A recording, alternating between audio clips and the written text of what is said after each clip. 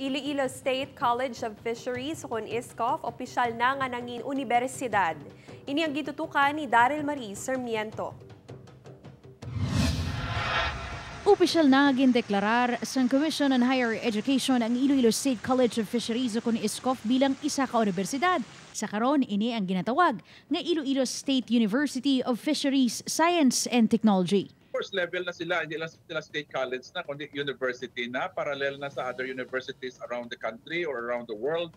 Ang universidad ang may kapin 8,000 ka student population nga kabahin sang 27 ka undergraduate courses kag napulo ka graduate school programs. Bangod sa pagpasangkad sang level sang edukasyon nga ginatanyag sang bulutuan, May mga COPC na o tawag na Certificate of Program Compliance nga ginahatag inasang CHED.